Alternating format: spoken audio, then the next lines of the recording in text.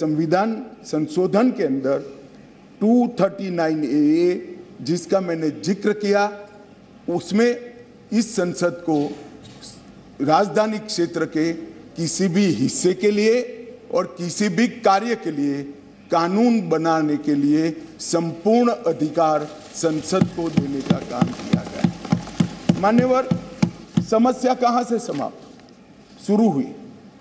उन्नीस सौ तिरानवे से व्यवस्था चली आ रही थी। कभी भारतीय जनता पार्टी सत्ता में आई, कभी कांग्रेस पार्टी ने शासन किया। कभी ऊपर कांग्रेस का शासन था, तब हमारी सरकार थी। तो कभी ऊपर कांग्रेस की सरकार थी, तब नीचे हमारा शासन था। मगर कोई झगड़ा नहीं हुआ था।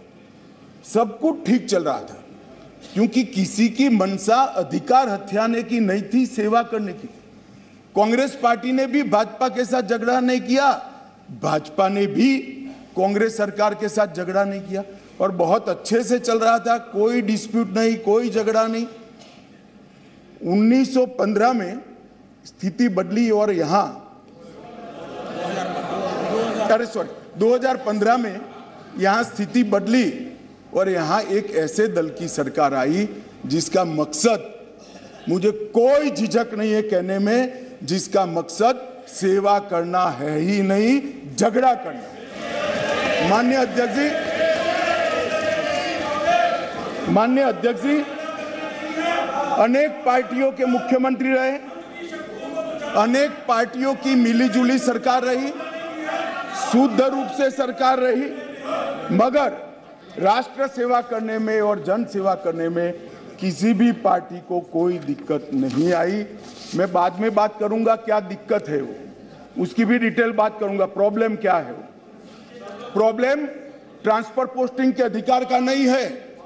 विजिलेंस को कंट्रोल में लेकर बंगला जो बना दिया है, इसका सत्य छुपाना है। जो भ्रष्टाचार हो रहा है, इसका सत्य छुपाना है। मान्यवर? मान्यवर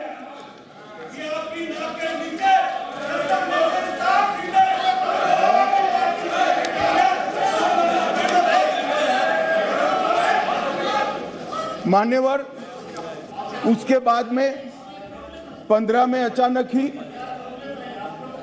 राज, दिल्ली राज्य सरकार ने एक विषय सर्कुलर निकाला, जिसमें उन्होंने ट्रांसफ़र पोस्टिंग के अधिकार अपने हाथ में लिए। केंद्र सरकार ने एक नोटिफिकेशन निकाला, उसको हाईकोर्ट में चैलेंज किया गया। हाईकोर्ट का फैसला केंद्र सरकार के पक्ष में आया। इसको सुप्रीम कोर्ट में चैलेंज कर दिया गया।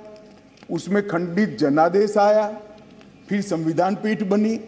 संविधान पीठ ने कुछ फैसले कर कर नीचे फिर से दो जजों की बेंच को दिया। उसमें भी सहमति नहीं बन पाई और फिर से संविधान पीठ बनी जिसने अभी अभी फैसला दिया।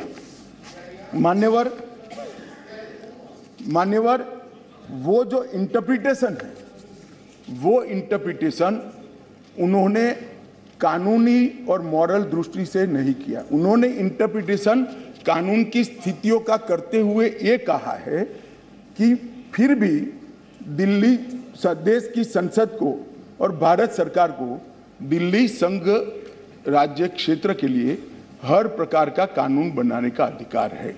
वो अधिकार का उपयोग कर कर एक वट हुकम एक नोटिफिकेशन निकाला गया और वो नोटिफिकेशन इसलिए निकालना पड़ा कि संसद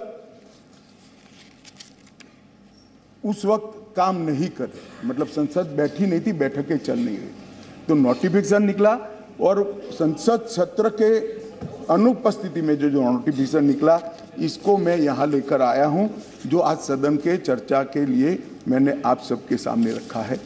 मेरा सभी पक्ष के सदस्यों से विनंती है कि चुनाव जीतने के लिए, किसी समर्थन हासिल करने के लिए, किसी पक्ष का विधेयक का समर्थन करना या विरोध करना, ऐसी राजनीति नहीं करनी चाहिए। नया गठबंधन बनाने के, नए गठबंधन बनाने के अनेक प्रकार होते हैं।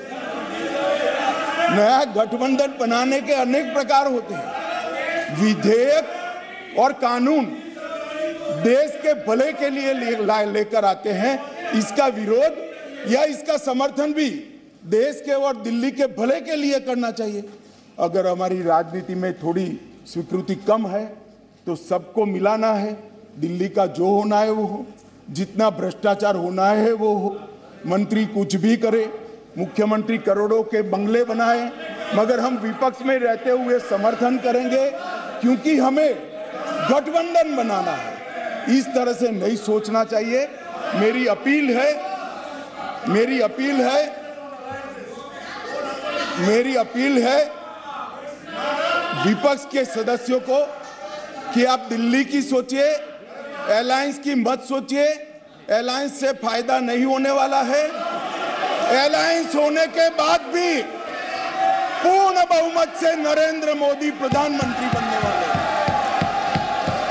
इसलिए इसलिए ये अलायंस के कारण जनता के हितों की बलि मत चढ़ाइए, जनता सब देख रही है। अलायंस कर कर आप अगर ऐसा सोचते हो अलायंस कर कर आप अगर ऐसा सोचते हो कि जनता का विश्वास हासिल कर दिया जाएगा, जनता का विश्वास आपको मिला था मगर जिस तरह से 10 साल यूपीए ने शासन चलाया 12 लाख करोड़ के गपले घोटाले करे, इसलिए आज वहाँ बैठे और मैं फिर से कहना चाहता हूँ, दिल्ली सरकार के, दिल्ली सरकार के गपले घोटाले भ्रष्टाचार को प्रचिन्न रूप से अलायंस की गरज के कारण मदद कर रहे हो, पूरा देश देख रहा है और पूरा देश चुनाव में इसका हिसाब किताब करेगा।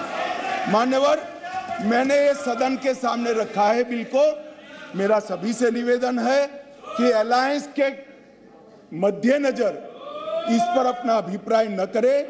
देश के और राजधानी क्षेत्र के भले के लिए न्यूट्रलिटी से बात करे। और वैसे भी मैं बता देता हूँ, विशेषकर कांग्रेस पार्टी वालों को, कि ये बिल पारित होने के बाद वो अलायंस में आपके साथ आने वाले नहीं है। तो जो सच है, वो करिए। इतना अपील करके मेरी बात को समाप्त करिए प्लीज़ मान्य सदस्य, आपको बोलने का मौका दिया जाएगा, लेकिन आप बार बार उठोगे तो मौका नहीं दिया जाएगा। ये सदन है। सभी मान्य सदस्यों, आगरा आपको मौका दिया जाएगा। आप एक पार्टी के हो और आपको मौका देंगे, लेकिन बीच बीच में नहीं उठते हैं, नहीं तो आपका समय खत्म हो जाएगा नौ, आप भी अपनी बात कहना अधीर रंजन चौधरी जी.